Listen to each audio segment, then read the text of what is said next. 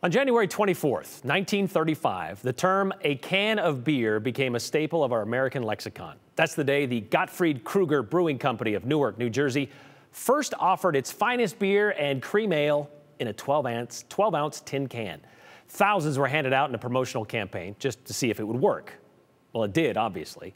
And after a delay in production during World War II, for obvious reasons, the cans became aluminum in 1958. Production picked up back in 1962, and by 1969, sales of canned beer outdid bottles for the very first time. Well, today marks the 87th anniversary of that first beer can. So to celebrate, we thought we'd take you back to the spring of 2018 and take you inside what is likely the largest collection of beer cans in Idaho in today's Rusty 208 Redive.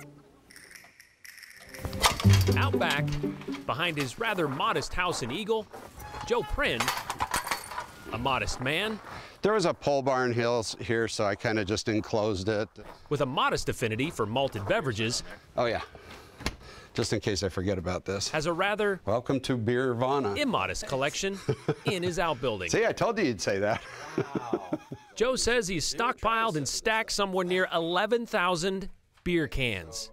That's a lot of lagers, an abundance of ales, and a Schlitz load of stouts. That wall ends at C. Uh, oh yeah, it, it, keeps going. There's another room. It, it keeps going. sure, the collection is impressive, but so is the presentation. It's the only way to keep track of it. Alphabetical, chronological, by brand and brewery. And when he ran out of wall space, he went to the rafters. Everything's on wheels. And I've... then roll around racks.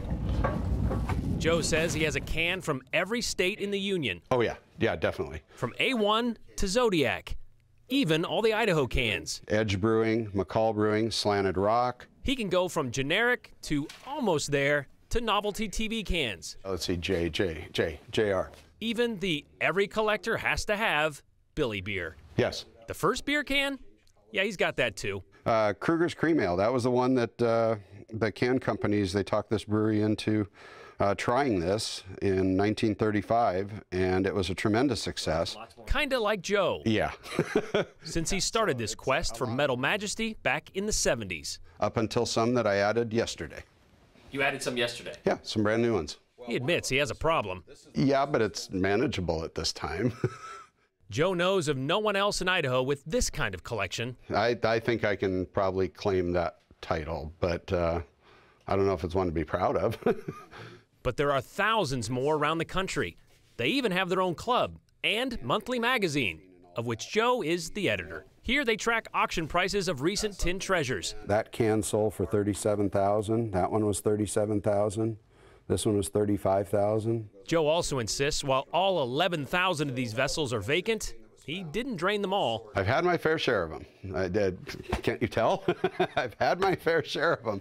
It said Colt 45 works every time, but Joe says he's worked about as many as he can into this old barn. I'm done now. This, this is it. This is not going to get bigger. This is it. My goldfish bowl can't get any bigger. A bowl, Joe says, is only worth its weight in aluminum.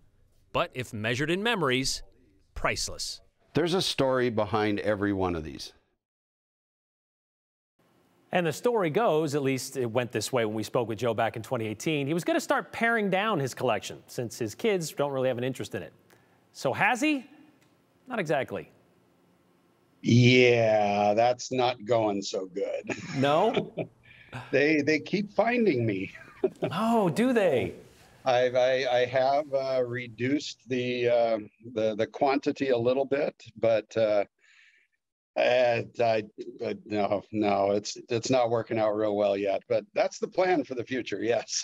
the future, the distant future. Yeah. But there is a a big community of beer can aficionados out there. Oh yes, it's huge. There's um, there's three national organizations: the the Brewery Collectibles Club of America, which we put out this magazine. I happen to be the uh, national editor right now. Uh, probably total collectors are somewhere around 10,000.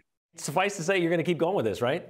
I am for a while. Uh, okay. Yes, yes. Uh, I think the the reduction plan is still fully in effect, and uh, so someday I do hope to reduce that down because there's only so many of these that'll fit in my urn with me at some point in time.